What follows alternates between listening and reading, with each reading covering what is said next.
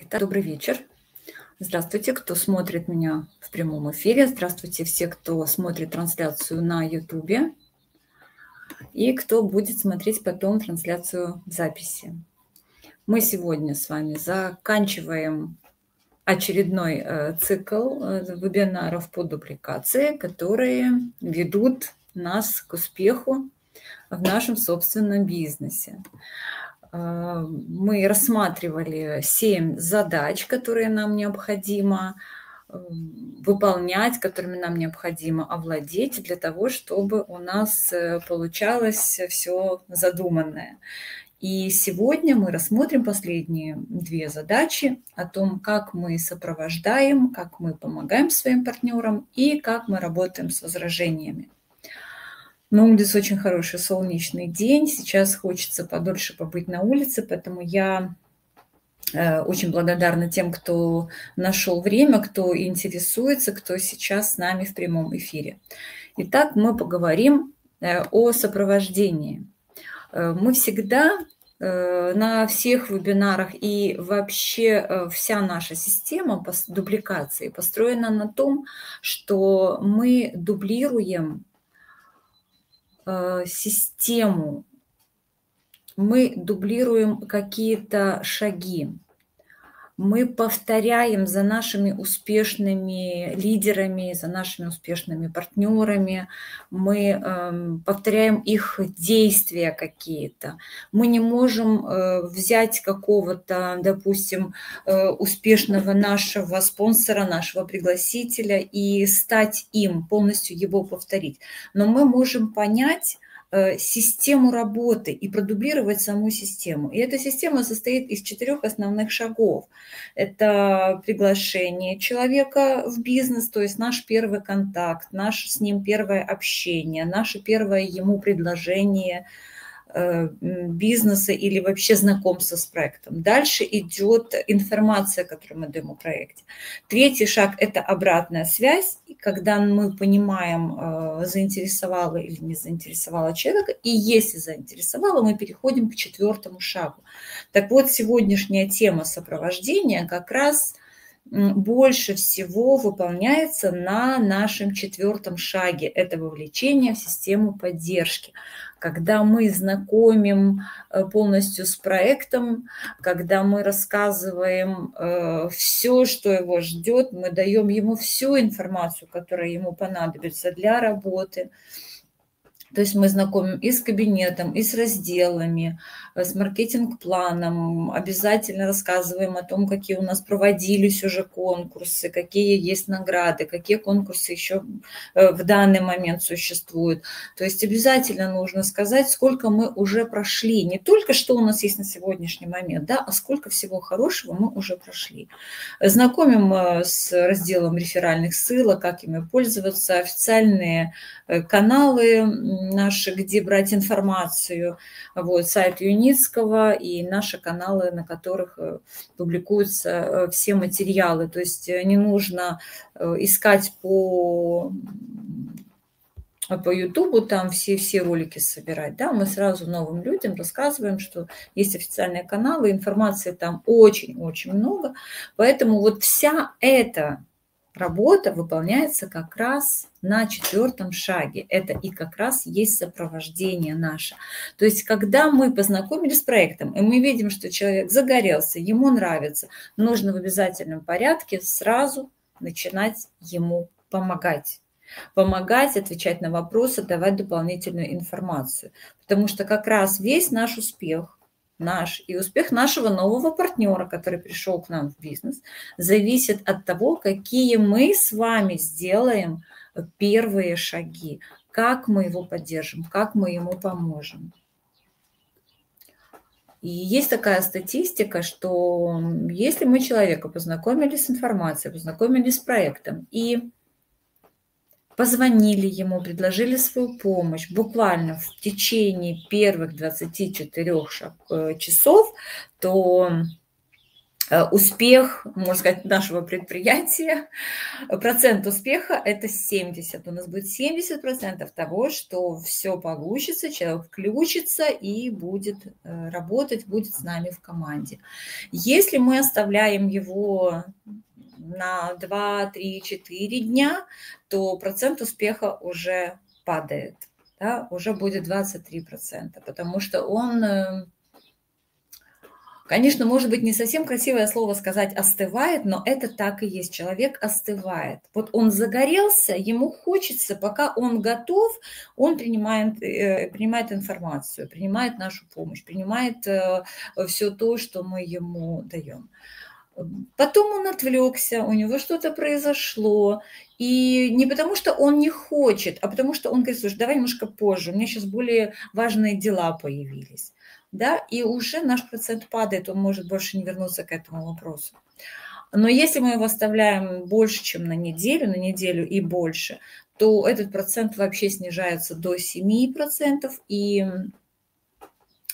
здесь может произойти э, гораздо э, больше всяких, можно сказать, негативных и неприятных моментов, потому что если человек загорелся, если человеку понравилось, и мы не откликнулись, вот представьте себе, он был готов войти в бизнес, ему это понравилось, он уже представил себе, допустим, что он вложит, как он, то есть он уже готов, а мы вдруг начали тормозить то любое, любое другое более-менее интересное предложение, которое поступит ему в течение этой недели, может как раз э, полностью занять его внимание.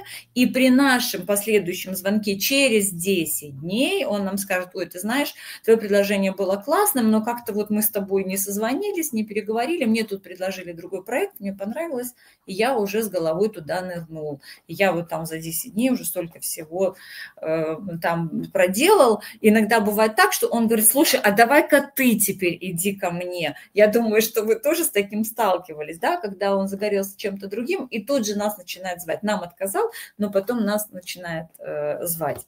Вот, поэтому не делайте такую ошибку. Если человек заинтересовался проектом, то, пожалуйста, берем и э, просто вовлекаемся и помогаем.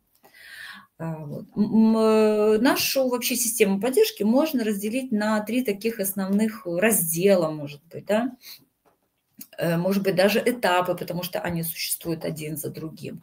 Первое – это знакомство, второе – сопровождение индивидуальное и сопровождение всей структуры, когда мы уже ее построили, когда она у нас уже появляется, когда у нас уже становится больше людей. Э, знакомство можно понимать эм, знакомство можно, знаете, как рассмотреть как два понятия. Знакомство первичное, когда мы только знакомимся человек с человеком и знакомим его с проектом. Но также есть знакомство еще и вторичное, когда он уже когда-то э, пришел в вашу структуру, сделал какую-то инвестицию, сделал себе небольшой портфель или, может быть, какой-то один пакет всего, и затих, как мы говорим, э, стал таким ожидающим, спящим партнером. И мы можем, когда просматриваем свою структуру, чтобы оживить людей, мы можем их э, позвонить и сказать, ну, привет, вижу, что ты в моей структуре. То есть если это не ваш первый личный приглашенный, э, либо если ваш лично приглашенный, вы привет, давно с тобой не общался, вижу, что по статистике у тебя так и остался один пакет, Давай мы с тобой познакомимся заново, что у тебя произошло нового, чем сейчас живешь, дышишь, да? То есть дадим ему какую-то новую информацию. Э, ну, во всяком случае, попытаться в обязательном порядке нужно. Очень многие люди вообще, взяв один пакет, э, не включившись в проект, допустим, активно, которые изначально не собирались строить структуру, они э, просто ждут. И они не смотрят новости, они не заходят в кабинет. И для многих наш звонок оказывается большим таким открытием, что оказывается проект не закрылся. Есть и такие, которые там в 2015-2016 году пришли и так и остались с одним пакетом. Э, для них большое открытие, что мы продвигаемся, что у нас такие большие достижения. И они с радостью принимают эти новости. То есть мы для них, как, знаете, вестник хороших новостей. И они включаются, они говорят, ой, да, здорово, ну давай, а что там за предложение еще есть, давай я, может быть, еще что-нибудь. Да? Поэтому вот это знакомство, как первичное, так и вторичное, стоит использовать, стоит прозванивать свою структуру спящую, и э, немножечко дать информацию людям. Не навязываться, не, не мешать им жить своей жизнью, да, но дать новую информацию, предложить новую информацию, рассказать о наших достижениях э, всегда можно и нужно. Я не могу понять, почему у меня такой свет, у меня так светло и ярко в квартире. Почему-то у меня камера не хочет этот свет воспринимать. Вот, дальше. Э, сопровождение индивидуальное. Э, мы говорили а, ну давайте еще про знакомство скажу. Э, при первичном знакомстве мы еще можем понять, э, кто перед нами. Их, их наших э, партнеров можно разделить на три категории. Это потребитель, продавец и строитель бизнеса. Вот я сейчас сделала акценты на потребителях, которые пришли, для себя открыли пакеты и просто ждут. Вот. Дальше есть у нас люди, продавцы, которые любят строить только первую линию. Вот они будут строить ее, вот они будут э, продавать, продавать, продавать, условно говоря, да, подключать людей, подключать э, пакеты и не строить структуру в глубину. Э, им это нравится, у них это получается, пусть они будут. Они такие существуют, это их право, это их работа. И есть э, строитель бизнеса, то есть это люди, которые целенаправленно, ну это какие-то там сетевики, которых мы из других, допустим, компаний пригласили, да, или они закончили там работу в своем проекте и перешли уже э, в наш то есть приняли наше предложение, наше приглашение. Вот. Но с такими людьми, конечно, мы работаем, рассказываем, помогаем, а может быть, им и не нужно будет помогать. Да? И мы всегда смотрим, что нужно ли нам, э, допустим, того же потребителя переводить в категорию продавца, или нужно ли нам э, нашего клиента из категории продавец переводить в категорию потребитель. Если мы видим, что там есть потенциал, если мы видим, что мы его можем чем-то заинтересовать, то мы стараемся и проделываем определенную работу для того, чтобы это произошло, перевести из одной в другую категорию. Если мы видим, что человеку комфортно там, где он есть, то, конечно же, не портим с ним взаимоотношения, э, не э, не, не, не, не не навязываемся ему, не делаем так, чтобы он от нас устал, устал да?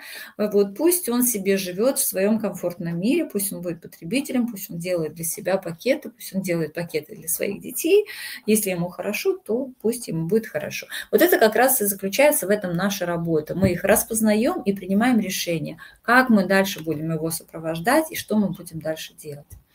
Вот. Когда мы э, принимаем решение, что мы сопровождаем, что мы дальше ему помогаем, мы учим его строить структуру, мы вспоминаем, какие шаги мы делали сами. Если у нас нет никакой схемы, если у нас нет никаких правил, и мы ничего не знаем, но мы уже сами эту структуру какую-то построили, у нас уже есть несколько приглашенных людей, вспоминаем, что мы делали, как мы делали, получалось у нас, не получалось, что у нас хорошо получалось, и то же самое делаем с своим партнерам приглашенным. То есть даем ему первое задание, э, спрашиваем его, какие у него цели, помогаем ему выстроить какие-то, определить, не знаю, записать его цели на бумагу, определить путь достижения, э, там, расписать по шагам. То есть делаем все то же самое, чему мы когда-то учились сами.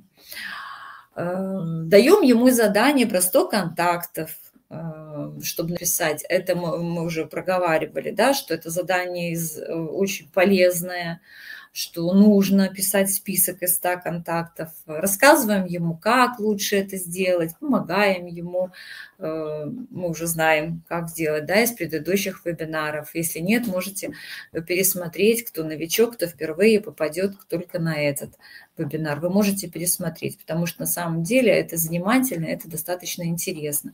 И мы можем написать список не только из 100, но даже из 200 контактов, потому что по статистике к 20 годам у нас есть уже 200 знакомых людей.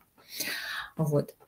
Ну и, конечно же, рассказываем, как мы работаем индивидуально с лидерами, как мы выявляем людей, которые достаточно такие активные, э, с большим потенциалом, и встречаемся с ними, разговариваем с ними, предлагаем помощь, предлагаем сотрудничество.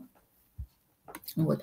То есть мы конкретно работаем с человеком и смотрим, что э, ему можно предложить для того, чтобы его немножечко расшевелить и помочь ему развернуться. Вот. Также существует сопровождение структуры. Очень важно, когда вы начинаете строить свою команду, создавать где-то какой-то чат. Сами договаривайтесь, в каком мессенджере вы создаете чат.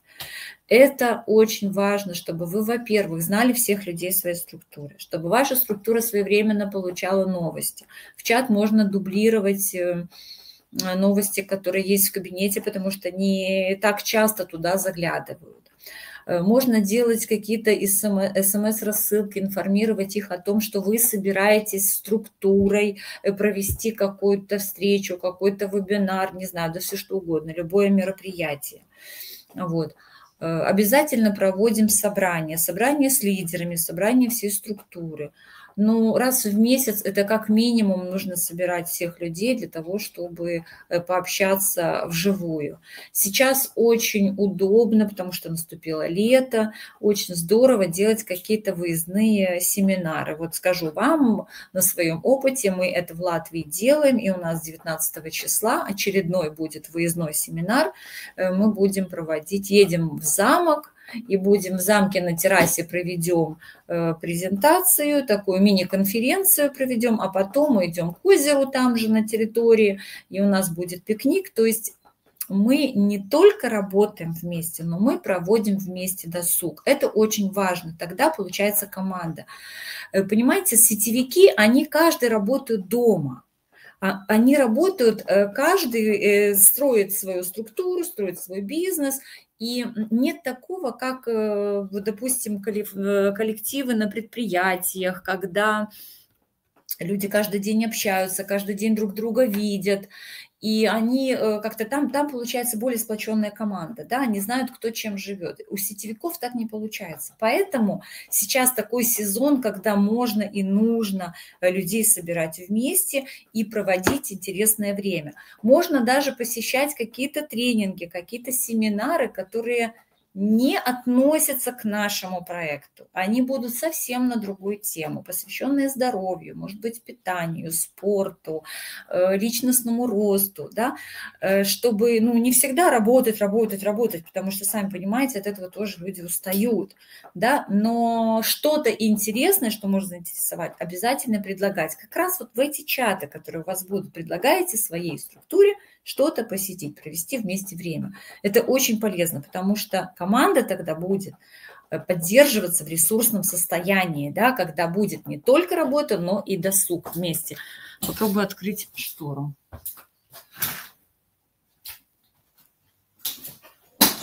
О, ну вот стало светлее. Меня теперь видно. А, вот. Так что не забываем, что вот всю, всю команду мы в обязательном порядке поддерживаем тоже. Ну, очень важно держать линии связи открытыми. Что это значит? Это быть на связи, быть всегда готовой э, ответить на телефонный звонок, помочь. Э, неважно, помочь при личной встрече, либо э, по телефону, может быть, да, иногда бывает, люди не могут там в кабинете что-то найти, мы по телефону их сопровождаем, и рассказываем, что где найти. И все. Это тоже наша помощь, и это тоже здорово, когда человек ее получает своевременно. Вот. То есть мы всегда открыты, мы всегда выполняем свои обещания, как мы говорили, да, в навыках коммуникации, что если мы о чем-то договорились, то чтобы выглядеть профессионалом, мы всегда выполняем все то, о чем мы договорились. Дальше, работая со, со своей структурой, мы должны понимать, у нас есть еще одно такое понятие, как конверсия. То есть мы работаем, мы рассказываем, мы приглашаем, мы делаем какие-то презентации. И очень важно понимать, э, как э, продуктивна ли наша эта работа. Даст можем ли мы достучаться до людей, э, не выполняем ли мы очень много, э, можно как сказать, пустой работы, теряем свою энергию, теряем свое время. Да? Для этого существует такое понятие, как конверсия, когда мы наблюдаем за своей работой, когда мы э, понимаем, сколько у нас на выходе получается сделок. Да? То есть что такое конверсия? Это отношение проделанной работы к конечному результату, и она измеряется в процентах. Например, если мы тысячу презентаций провели, а у нас только два человека совершили э, заключили, ой, 20 человек заключили сделку, то вот у нас получается всего лишь, э, что у нас получается 2%. Да? Вот. И поэтому анализируя свою работу, видя, какая у нас конверсия, какой у нас процент конверсии, анализируя свою работу, мы, э, как бы наша цель э, повышать этот процент для того, чтобы наша работа была продуктивна и учить этому свою команду. И для этого есть такие понятия, как фазы вовлечения, как мы можем, э, вот как мы можем понять свою конверсию, да, свой результат свой, как мы можем его просчитать, оценить. Э, есть такие, вот, вот есть у нас пять фаз. Я взяла пять, ее можно разбить еще на больше, гораздо ну, более подробно. Каждый для себя может э, эти этапы обозначить, э, более мелкие этапы. Да, я взяла пять этапов пять фаз. Первое – это когда мы ищем человека, ищем потенциального инвестора, вот мы в поиске, мы обзваниваем, мы находим человека. Первое – общение с ним, презентация проекта, предложение инвестирования и инвестиция, то есть заключение сделки. Допустим, берем вот эти пять этапов, и мы смотрим, э, какую работу мы с людьми проделываем и на каком месте у нас идет торможение. Допустим, мы делаем, делаем, делаем, делаем презентацию, и человек вот, вот ну никак, ну вот не хочет он делать эти. Ну, то есть мы с одним проговорили, с другим, с третьим, и мы понимаем, мы хорошую подробную презентацию сделали, да. Ну все, здесь у нас получается ступор. Вот тогда мы думаем, э, какой у нас следующая фаза? Это предложение инвестирования. Значит, возможно, мы не сумели сделать это предложение ну, так, чтобы человек понимал. Значит, у нас где-то э, что-то у самого не проработано, э, что-то мы не доделываем. И вот здесь как раз мы вспоминаем, как мы на вебинаре говорили об о том, когда каждый человек умеет э, делать э, очень хорошо три дела, которые могут, в принципе, его кормить. Да? Три важных дела, которые человек умеет делать, которые составляют 90% его стоимости. И вот мы понимаем, значит, я умею делать презентацию, но, возможно, не умею делать бизнес-предложение. Да? Я не умею сделать предложение так, чтобы человек проинвестировал. И мы находим своего спонсора или того, кто умеет это делать очень хорошо, и приглашаем его на свои встречи.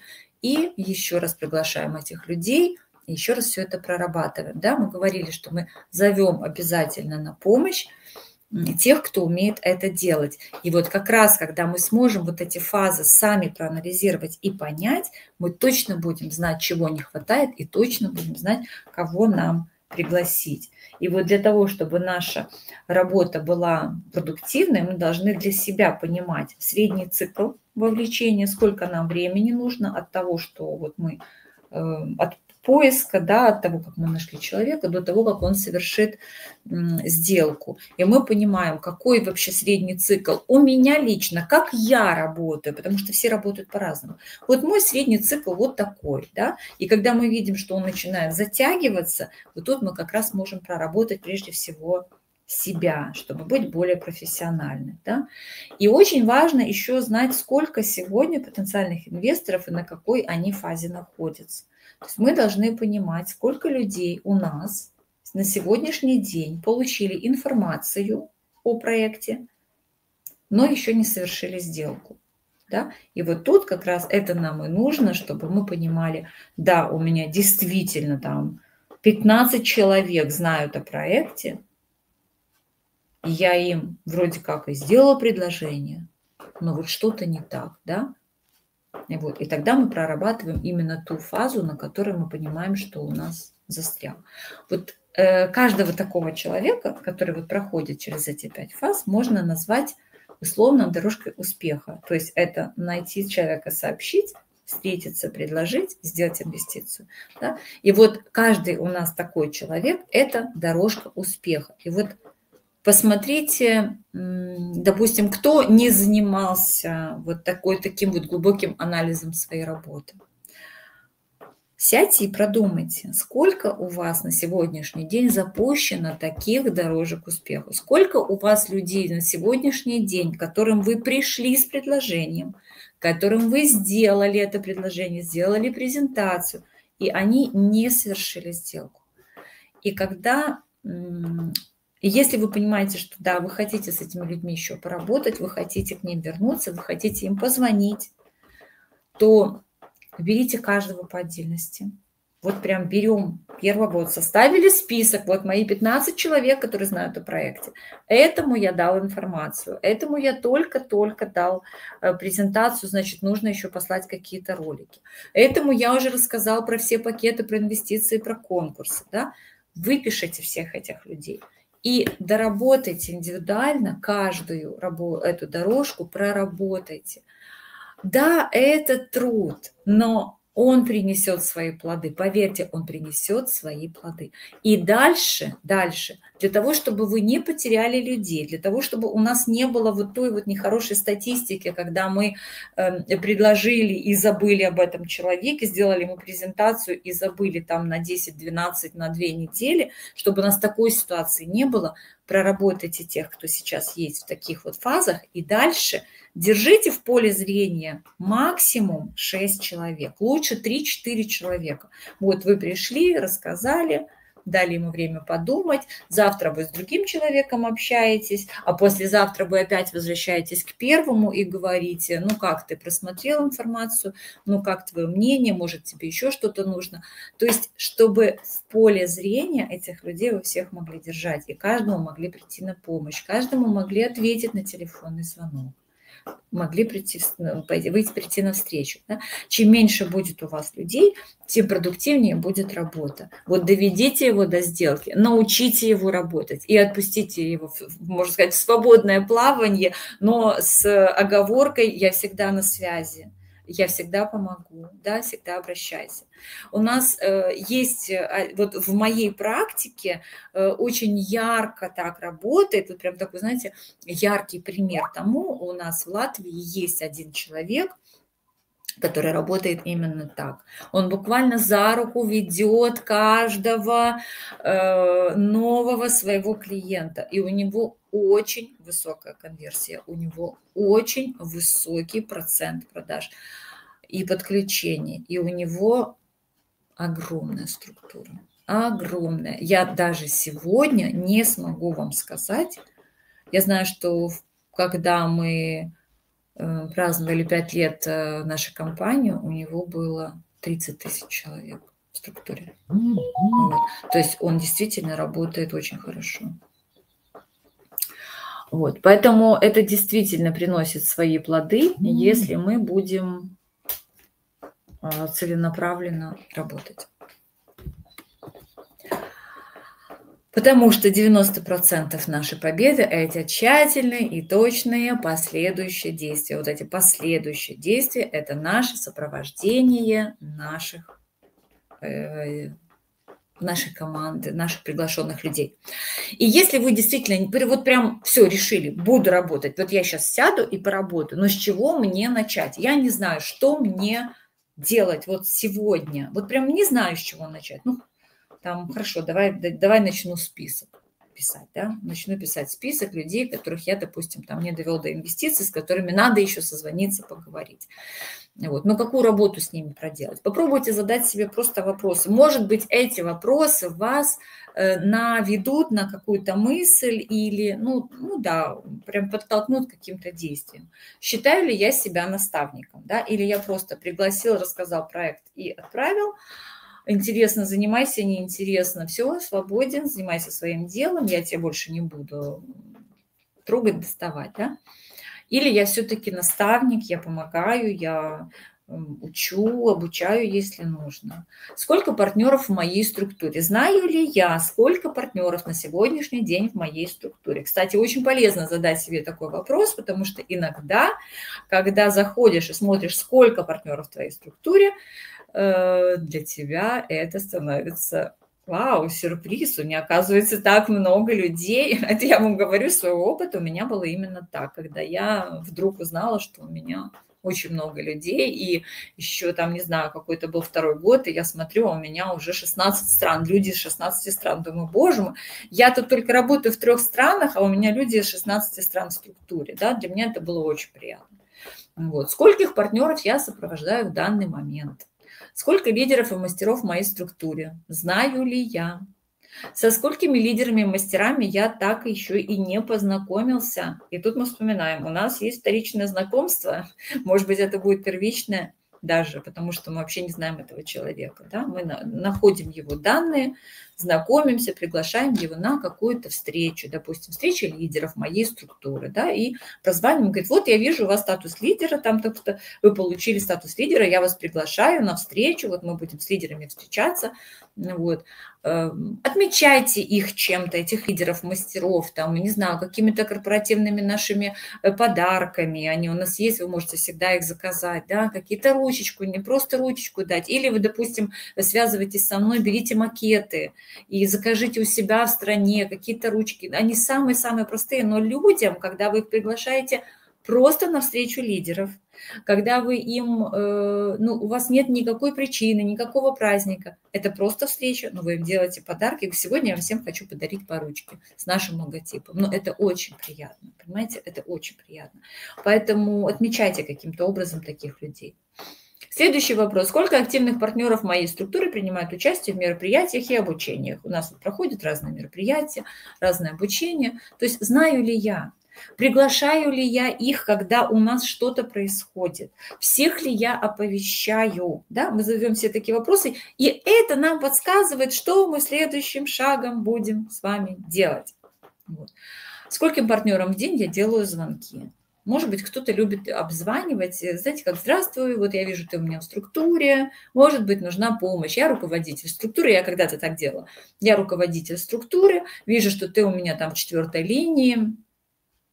Вот, как у вас идет работа с вашим спонсором, нужна ли вам какая-то помощь. Иногда люди говорят, ой, нет, спасибо. А иногда говорят, да, какие там новости, я что-то давно уже не заходил, не смотрел. И мы говорим, ну вот у нас скоро будет вебинар, ну вот у нас скоро будет презентация, вот у нас скоро будет встреча, мы вас приглашаем приходить. Понимаете, мы их просто обзваниваем, но мы напоминаем о себе, и очень часто люди включаются, и они благодарны, что им позвонили. Они не чувствуют себя брошенными. И если это не делает их непосредственный пригласитель, то очень хорошо будет, если это будет делать руководитель структуры. Да? Поэтому заглядываем в глубину, ищем какие-то вот эм, контакты, находим контакты и работаем. Вот в этом и заключается все наше сопровождение. Да?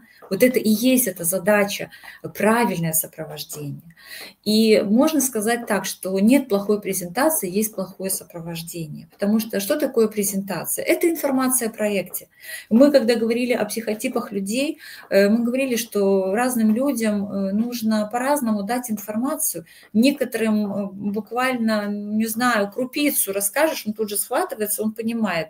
Потому что, ну что такое презентация? Это проект, вот есть проект, вот есть транспорт, он экологически чистый, он спасает планету, жизни, сохраняет животный мир, э, жизни людей, он безопасный. Ну все. И ты можешь стать инвестором, ты можешь стать соучредителем, ты можешь стать эм, совладельцем, да, правильнее будет сказать. Ну все, ну вот она презентация. Но как мы это подадим? Э, какую дополнительную информацию, как мы, какие мы предложим ему, какую помощь мы предложим, какое сопровождение предложим, вот от этого зависит дальше успех. Поэтому желаю вам, чтобы вот все были прям э, такими хорошими наставниками, да, хорошими помощниками, чтобы у вас были дружные структуры, чтобы у вас всегда была аргументация. Всегда, чтобы вы могли э, справиться с любым вопросом, с любым возражением. Вот мы плавно переходим к следующей задаче, как мы работаем с возражениями. Э, я не буду сегодня прям вот подробно рассказывать, э, прям дословно, как на какое э, возражение мы должны реагировать. Я хочу немножечко поговорить о механизме. Есть определенный механизм, как мы отрабатываем возражение. Алгоритм, можно так сказать, алгоритм. И он очень хорошо работает, если мы его правильно понимаем. Э, потому что мы очень часто сталкиваемся ой, у меня нет денег, ой, у меня нет времени, ой, с меня будут смеяться, сколько лет в этом уже строитесь, а, нет, ты что скажут, что я дурачок какой-то, что я принял предложение, а, моя жена, наверное, не захочет. То есть э, иногда люди такие вещи говорят, когда у них происходит какая-то первая защитная реакция. Э, у людей часто бывает, опа, от меня что-то хотят. Так, все, нет, нет, нет, у меня нет времени, нет, нет, нет, у меня нет денег, да.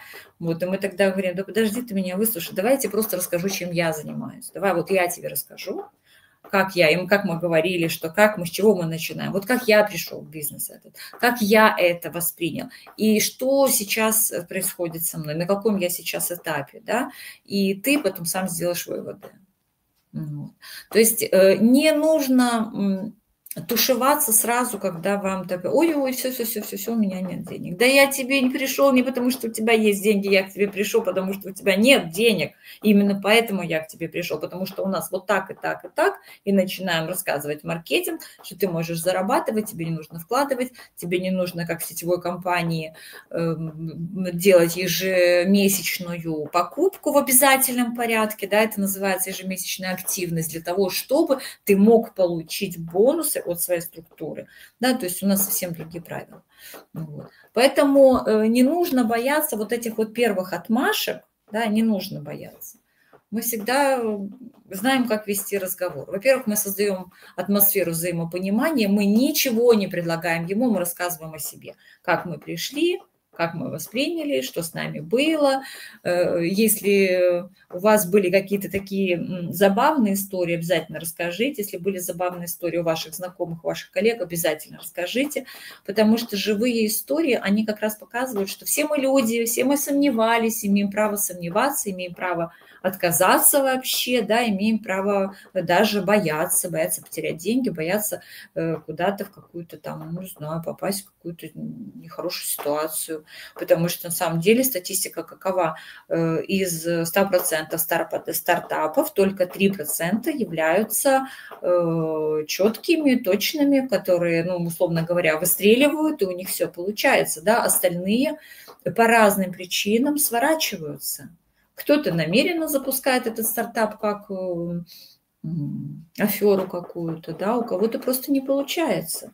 А наш стартап, да, мы тоже стартап, но, извините, мы уже на 14 этапе, который подходит к концу, вот, и у нас уже точка невозврата пройдена, мы тоже должны понимать это прежде всего сами, и это должно нам самим давать уверенность, да. Вот. Э, затем, э, когда мы делаем уже презентацию, мы анализируем, конкретизируем, задаем вопросы, чтобы мы поняли, правильно ли нас понял клиент. Если мы поймем, что нас поняли правильно, значит, э, уже у человека, с которым мы беседуем, будет меньше вопросов, будет меньше сомнений, будет меньше возражений, потому что мы задаем ему вопросы и тут же на них отвечаем. Мы тут же даем ему дополнительную информацию. И когда мы понимаем, что э, нас правильно поняли, уточнили, разъяснили, да, мы таким образом уже, можно сказать, ну, минимизируем возражения сразу в первой же беседе, беседе. Э, есть три причины, когда человек говорит нам вот прям нет. Нет, нет, нет, нет, нет, подожди, нет. Вот мы тут распинаемся, он говорит нет, нет, нет. Э, лучше выяснить, что именно им э, руководит, чего ему не хватает. Первое, у него может быть сомнение вообще в целесообразности данной покупки. То есть ему нужны дополнительные аргументы для принятия решения. Вот это как раз вспоминаем основной побуждающий фактор, и когда мы понимаем, что человеку нужно, вот тут мы работаем, да, что ты сможешь удовлетворить свои самые важные для тебя потребности. Да? Вот. Мы даем ему аргументы для принятия решения, аргументы дополнительные. Есть бывает, что человеку просто нужна дополнительная информация. Он говорит нет, потому что он еще не понял, что ему предлагают. Да, и мы вопросами выясняем, и мы даем информацию. Мы даем дополнительные ролики, мы открываем маркетинг. Ну, то есть мы задаем вопросы, чтобы понять, какая информация ему нужна. И третье, бывает, что люди нам отказывают только потому, что он не хочет этим заниматься. Он просто не хочет этим заниматься. Поэтому очень важно нам это прочувствовать, это понять для того, чтобы не тратить свое время, не тратить свою энергию. Потому что есть э, три типа людей. Игроки, аутсайдеры и зрители. Игрок – это который знает, что такое рисковать. Он может ставить цель, он идет к цели, потому что он знает, что такое победа. И поэтому он играет, ему надо мало информации, у него не, будет, э, не будут возражения, которые отталкивают, у него будут вопросы для того, чтобы полностью получить весь комплекс, чтобы полностью понять, надо ему это или не надо. Он игрок, он будет задавать вопросы. Игроки как и командиры, иногда могут не дослушивать до конца наш рассказ. Вот мы пришли, мы подготовились, мы там начинаем ему, так, мне надо вот это ему рассказать, вот это, вот это мне надо показать. То есть мы подготовились к беседе, мы приходим, и нас тут хоп, на каком-то моменте перебивают, начинают задавать вопросы. Если мы чувствуем, что перед нами игрок, перед нами командир, который знает, чего он хочет, не обижаемся, что он не дослушивает нас. Ничего, наоборот, здорово, он уже все понял. Он уже не тратит свое время, он не тратит ваше время, он задает четкие вопросы для того, чтобы полностью у себя в голове по полочкам все разложить, понять, чего ему не хватает и принять решение. Если перед нами аутсайдер, это бывший игрок, который когда-то сломался, который когда-то проиграл и не смог, вернее, упал и не смог подняться, да, но он знает, что такое игра, он знает, что такое победа, он знает вот эти вот чувства победы. С этим человеком можно работать, да, мы всегда его можем из категории аутсайдера найдя правильный подход, правильные аргументы, перевести в категорию игрок. И мы тем самым сделаем благо ему, благо, потому что он начал где-то ломаться, он начал где-то сомневаться, да, и мы делаем ему благо, он обретает силу, у него появляется энергия. Вообще нам нужно понимать, что наше предложение, принять участие в нашем проекте – это благое дело. Благое дело как для людей, так и для всего окружающего. Поэтому когда мы не сомневаемся, когда мы понимаем, что мы дарим благо, а не втягиваем кого-то куда-то и э, хотим что-то от человека поиметь. Ведь на самом деле, э, предлагая проект, мы человеку даем гораздо больше, чем получаем сами. Сами мы получаем определенный проект от инвестиций. Все. Но мы человеку даем будущее. Да? Он может сам принять решение, какой он хочет портфель э, какие он хочет инвестиции сделать, какие ему нужны на выходе ну, благо, да, сколько он хочет получить. И он сам принимает это решение, он получит гораздо больше, чем мы. Поэтому, когда мы идем с мыслью, что мы несем человеку благо, что это э, наш долг, узнав о таком классном проекте, рассказать о нем еще кому-то, да, тогда мы, может быть, и не будем возражений бояться, потому что мы будем говорить, что, ну, ладно, нет, так нет, просто я, мне, для меня было важно для, до тебя это донести.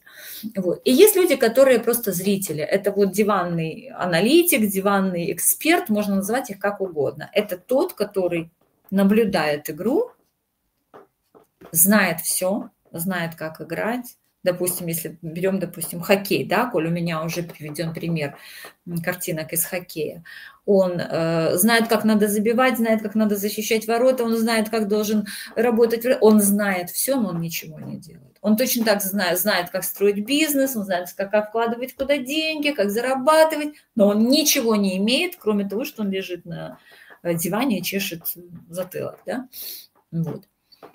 Э, если вы понимаете, что перед вами такой человек, мой вот совет, не тратьте на него время, не тратьте на него свою энергию. Это очень редко, когда мы такого сможем человека перевести вот в какую-то там категорию выше. Если вам удастся, то вы победитель. Вот. Э, таких людей, если мы распознаем, то лучше не себя не растрачивать. Это очень важно, кстати. Это очень важно. Э, по большому счету он имеет право оставаться зрителем. Он имеет право жить в своем, э, ну вот как лягушечка в болоте, на своем э, красивом листочке, да, ну вот как лягушка живет, ей хорошо там. Ей хорошо. И пусть, если человек счастлив, ради бога, он живет в своем маленьком мире, пусть он имеет на это право. Точно так же, как и имеют право люди возражать, бояться и сомневаться. То есть, когда мы встречаемся с возражениями, что мы должны понимать? Нам надо осознать, да, он имеет право э, бояться, сомневаться, потому что у него разные причины есть для этого. У него может быть э, опыт э, свой собственный негативный, у него может быть опыт его коллег, друзей негативный. Э, да, мы вспомним, когда ничего подобного не было, и пришла к нам пирамида МММ, и как много людей туда зашли, и по сей день многие говорят, знаете что, мне хватило МММ. До сих пор люди говорят это. Поэтому да, тогда очень много людей обожглись. Вот, поэтому мы осознаем, то есть это наша реакция. Какая должна быть наша реакция? Мы осознаем, что человек имеет право возражать и имеет право сказать нам нет. Мы принимаем это. Да, конечно, я понимаю. Я тоже когда-то, где-то, в чем-то сомневался. Ведь правда, ведь все же мы люди. Мы же тоже когда-то в каких-то ситуациях говорили, ой, нет, нет, ой, нет, нет, нет, я что-то тут недопонимаю, поэтому нет. Вот. Но наша задача нейтрализовать это возражение, если это уже наш игрок, если это уже член нашей команды. Если он уже, мы понимаем, что да, он, он готов быть с нами, но чего-то ему не хватает, мы должны это дать, то есть мы должны нейтрализовать его возражение. Э, это я привожу один и тот же пример, потому что он мне очень нравится. Если мне э, я что-нибудь придумаю новенькое, я буду приводить другой. Но если у нас есть полный стакан воды или там полный кувшин воды, вот вот, например, да, и вот это просто вода, и мы хотим сделать из нее э, этот самый какой-то вкусный напиток, и нам надо туда добавить какой-то сироп, а места нет, значит, нам нужно, нужно отлить немножко воды, чтобы было место для сиропа. Поэтому э, мы даем возможность человеку выплеснуть все эмоции, выплеснуть свои сомнения. Э, почему вот он начинает возражать? Мы зада... говорите, почему, почему, почему, расскажи мне. Может быть, я сам где-то слепо, глупо нырнул, как в омут с головой и не рассмотрел какой-то опасности. Скажи мне, что ты видишь в этом, да, какую ты опасность видишь. Пусть он выскажет все, ему станет намного легче, и вы поймете, что ему нужно. И вот тут как раз освободится место, куда мы доливаем сироп. Мы ему даем информацию, которая э, рассеет все его сомнения и возражения. Да? Вот. И что нам для этого нужно? По большому счету нам нужно качество нашего транспорта, знать и понимать, вот что в нем, как. То есть вот, вот мы эту информацию всю изучаем. Э, конечно же, мы говорим о выгодах, поколь мы человека приглашаем, мы говорим о выгодах и о выгодах вообще эм, для всего живого для, для всей нашей планеты, какая есть выгода, если этот транспорт будет внедрен, и какая выгода будет у человека, если он сегодня и сейчас придет проект и там немножко поработает. Да? Вот. Ну и доказательства, пожалуйста, у нас есть экотехнопарки, Э, испытательные наши площадки, э, сертифицированные трассы, которые можно не только увидеть, потрогать, пощупать, но и прокатиться. То есть у нас есть три базовые группы, из которых мы берем аргументацию. Все это все характеристики, выгоды и доказательства. Вот. Итак, мы встречаемся с возражением, и сейчас прям вот по, по, по косточкам, да, по косточкам. Вот этот алгоритм, алгоритм отработки. Это, в принципе, то же самое, что только что я проговорила. Осознать, принять, нейтрализовать, да. Итак, присоединение, объяснение присоединения, факт, аргумент, цель диалога и окончание взаимодействия. Это алгоритм. И сейчас, что значит присоединение? Мы присоединяемся к мнению клиента. Он говорит нет, потому что и мы даем ему понять, что да, Он имеет право сомневаться, и это даже очень хорошо. И тем самым мы снимаем сопротивление и напряжение. И он не будет сопротивляться э, дальше тому, что мы будем говорить. Да, вот, мы принимаем. Иван Иванович, очень хорошо, что вы об этом заговорили, да? То есть очень хорошо. Дальше мы тут же эм, объясняем присоединение, то есть мы усиливаем этот эффект, объясняя, откуда такое мнение. И это покажет, что мы на самом деле принимаем, учитываем его точку зрения, что мы э, с уважением относимся к нему, э, к его знаниям. То есть я тоже считаю, что при выборе финансового партнера в первую очередь важна его репутация. Да? То есть очень хорошо, что вы об этом заговорили, потому что если вы решаете вкладывать куда-то деньги, конечно же, вы должны сомневаться, конечно же, вы должны что-то проверить, конечно же, для вас важна репутация этого проекта, э, куда вас приглашают. Да? То есть это нормально. Но существуют факты, и мы тут приводим факты которые ну, относятся к данному возражению уже, да, то есть мы приводим известные факты для того, чтобы вызвать больше доверия. Мы говорим, да, но компания на рынке с 2015 года. Здесь более 400 тысяч активных инвесторов из 210 стран мира.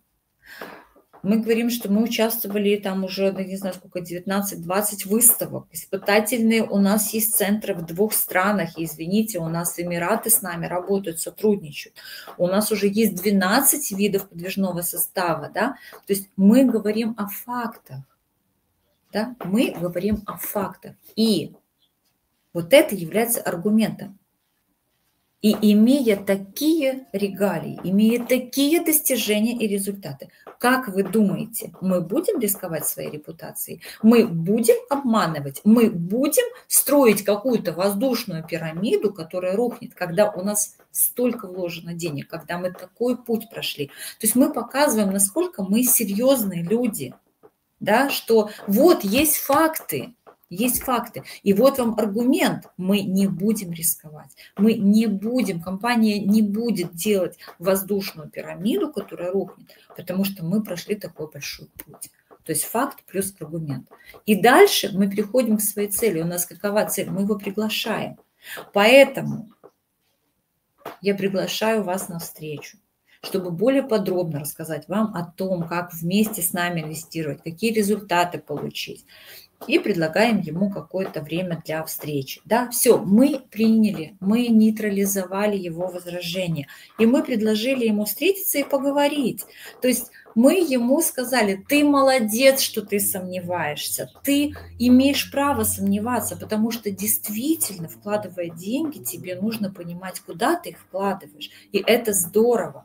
И я тебе даю факты, я тебе даю информацию, и вот тогда ты подумаешь. Поэтому давай мы встретимся, и дальше все поговорим, да, и мы фиксируем нашу договоренность. Вот все, отлично.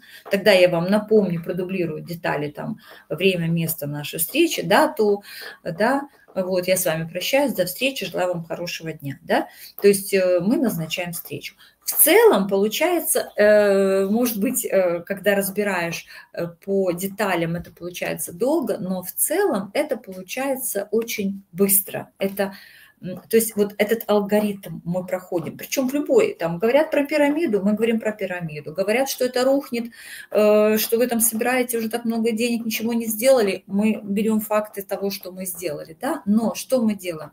Да, ты молодец, что ты сомневаешься.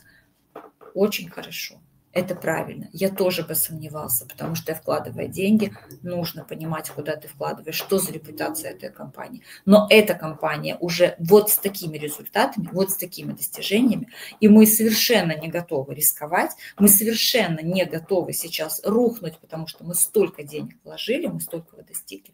Поэтому давай я тебе подробнее расскажу, и ты сам для себя сделаешь выводы. Все, мы ему не стали говорить, да ты что, это не пирамида, да какая же это пирамида, да? То есть он с сопротивлением, и мы с агрессией. Все, из этого ничего не выйдет. Мы принимаем и даже еще и хвалим его за это. И вот этот алгоритм, он действительно работает, он работает и он приносит пользу. Еще очень полезно когда мы сделали презентацию, как поговорили, ответили на вопросы, очень полезно использовать технику Бенджамина Франклина прямо вот вручную, на листочке. Делим листок напополам, пишем плюсы, пишем минусы. И просим э, нашего оппонента, нашего собеседника сказать, вот давай, сейчас э, мы с тобой поговорили, ты все-таки, у тебя есть какие-то сомнения, у тебя есть какие-то возражения. Э, давай напиши, как, что на твой взгляд ты считаешь минусами. Вот напиши минусы, что тебе все-таки здесь кажется несовершенным, что тебе кажется сомнительным. И пусть он напишет минус. А вы потом сами напишите плюсы, сами все преимущества технологии, преимущества участия, выгоды э, в долгосрочном периоде, в краткосрочном периоде, тоже их запишите. Э, на сегодняшний день абсолютно точно могу сказать, что плюсов всегда будет больше, чем минусов. Если еще вы давно уже в компании и прошли с ней определенный путь, вот этот длинный семилетний путь, то вы сто процентов напишете плюсов, гораздо больше, чем напишет минусов ваш собеседник.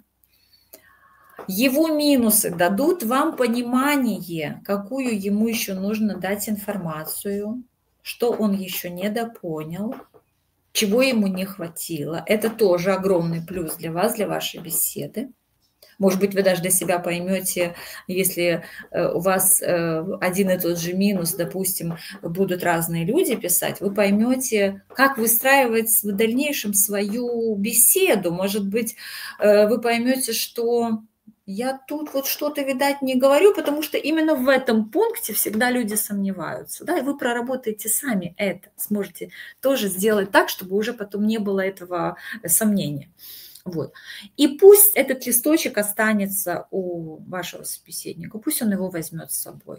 Он еще не, одна, не один раз туда заглянет и не один раз увидит эти все плюсы и поймет, может быть, сделает какие-то для себя выводы. Это тоже очень полезно. Поэтому эту технику очень рекомендую вообще использовать, даже ее можно использовать в любых э, жизненных ситуациях, да, когда самому надо принять решение какое-то, э, когда даже женщины используют используют, когда взаимоотношения начинают портиться с мужем, с партнером, да, и начинают писать э, плюсы, минусы, или там партнеры начинают его плюсы, его минусы, что ж я к нему цепляюсь, у него же плюсов больше, чем минусов, да, вот, э, техника на самом деле шикарная, вот э, действительно, вот когда просто о ней говоришь, просто ее прослушал, ну да, классно, но если ее возьмешь и, и попробуешь применить, я вам говорю, на любой области вашей жизни ее можно применить.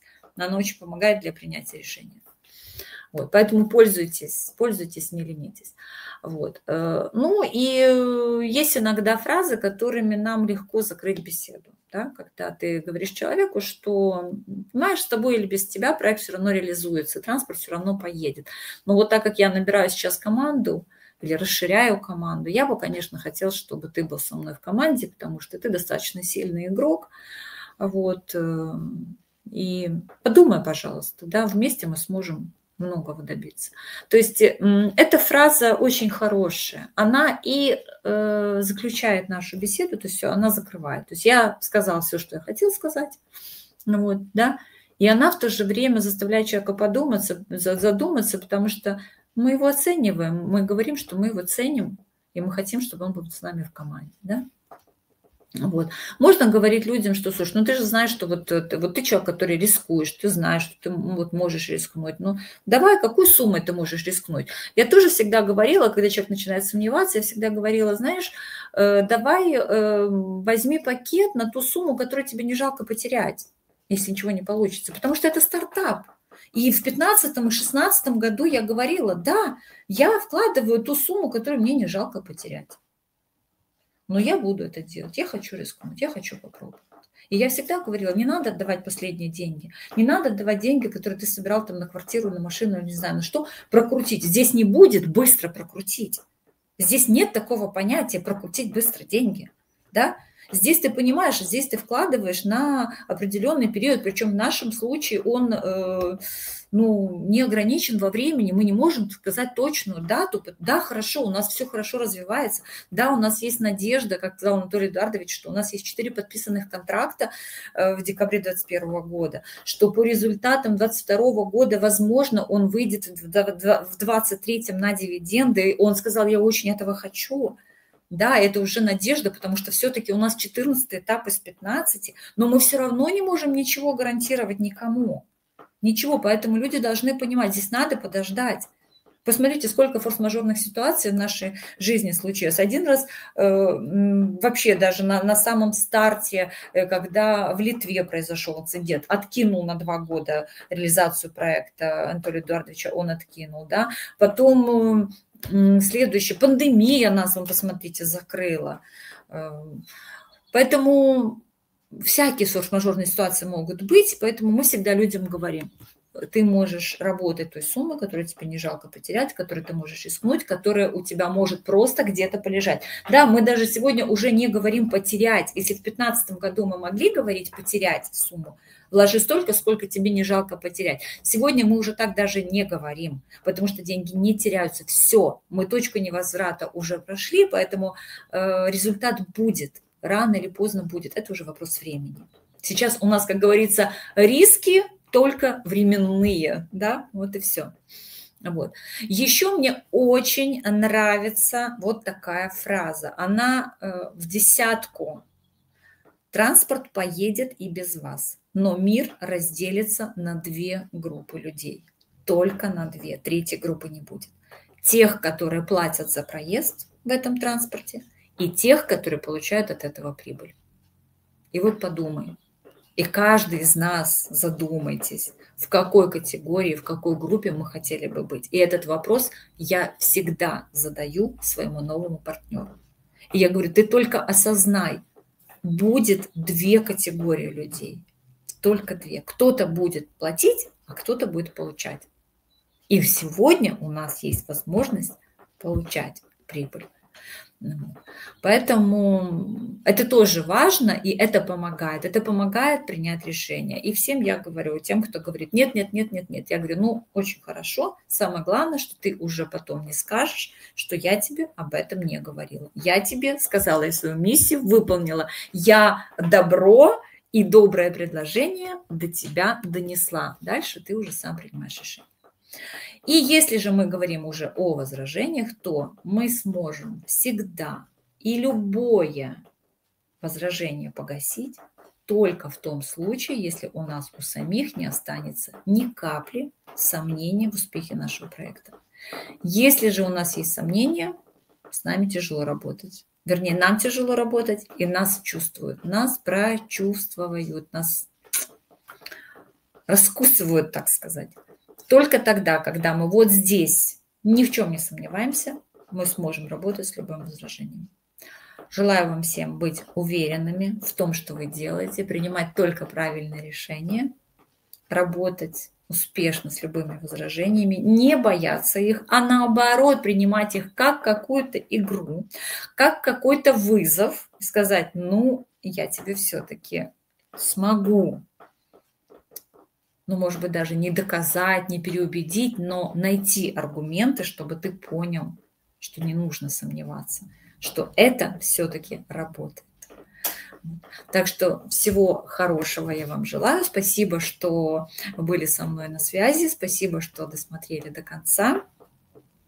И до новых встреч. Следующий вебинар у нас будет э, в конце месяца, потому что сейчас мы все уходим на праздники, сейчас отпуска, и вот в Прибалтике у нас тоже будет э, большой, большой, большие праздники Лига. У нас, я думаю, что э, людям будет не до того, чтобы сидеть у вебинаров, а вечера будут проводить на улице, на природе.